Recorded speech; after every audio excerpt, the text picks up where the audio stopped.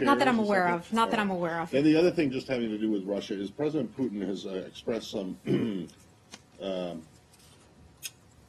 disappointment or regret at having awarded now Secretary Tillerson the uh, Order of Friendship. I'm wondering, uh, what does the Secretary think of that, if you know? Is he, is he willing to perhaps return the award since? I have uh, not asked him that question. Um, Very interesting comment uh, from President Vladimir Putin.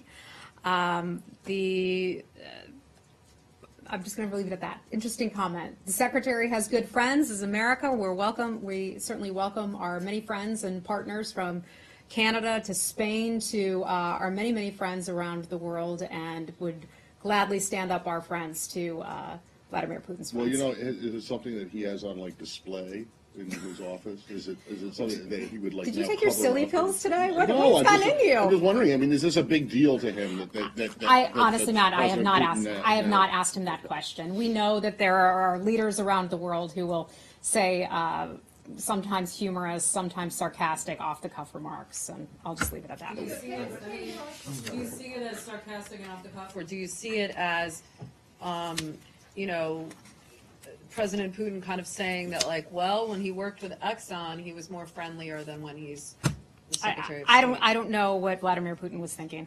I just, I don't, I can't get into his head. I don't, I don't know. Let's move on, let's move on to something else.